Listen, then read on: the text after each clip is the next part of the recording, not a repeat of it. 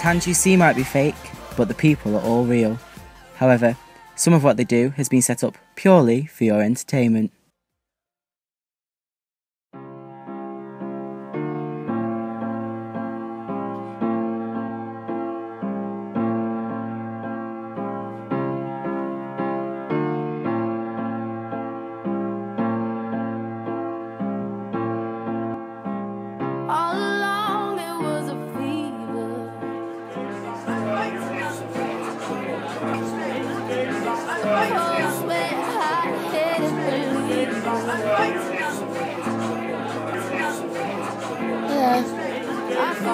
Did you have a good night? Yeah, but I oh, had to look after Kate because her and Rosie had a fight.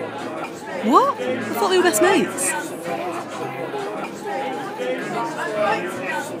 Tell me what happened then. Well, we all went to the buyers, and then Rosie and Ryan kept going off for tours.